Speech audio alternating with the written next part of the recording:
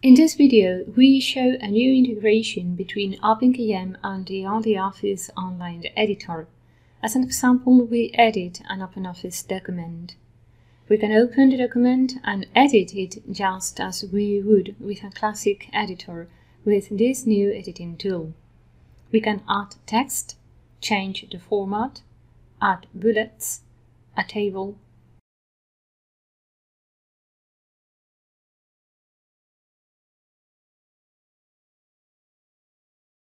We can save the changes as we work on the document. From the browser, we can see how in the History tab, OpenKM records the changes which have been made in online mode, avoiding depending on the configuration of the device from which we are working.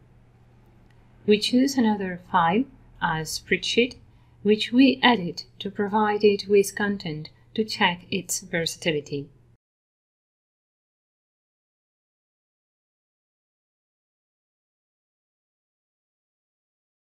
As you can see, with this online editor, you can perform all the editing tasks that any user requires.